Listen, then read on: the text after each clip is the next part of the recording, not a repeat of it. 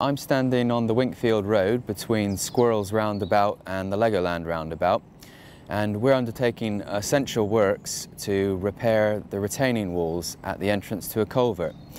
So behind me there's a culvert which carries water under the Winkfield Road and where the culvert entrance is behind the grass verge there's two retaining walls and we've been monitoring these walls for a few years now as part of routine inspections and we've noticed some problems. There's a lot of movement and there's a risk that the walls could actually suddenly collapse.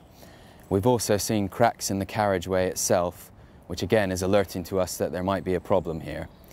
So we're undertaking essential repairs to make sure there is no risk of sudden collapse. And if a collapse were to happen, that would actually lead to a lot of unplanned disruption for the traffic and would take a lot longer to do emergency repairs than what we can do when we plan them. There's two different walls and what we're doing is we're going to be installing new sheet pile walls in the grass verge that will effectively be replacing those walls. And the sheet pile walls will support the verge, which is supporting the carriageway, to make sure that that carriageway doesn't collapse. Well, if you see behind me the size of the piling rig, we've actually got two pieces of equipment there. The tall one is the crane and the shorter one is the piling rig.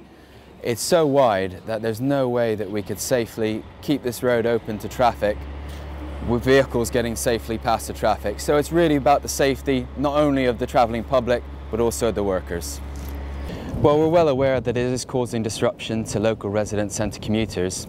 So we're all working together to try and reopen the road as soon as possible. We're working as fast as we can, but doing it safely and I assure you, as soon as we're ready, the road will be reopened to the public.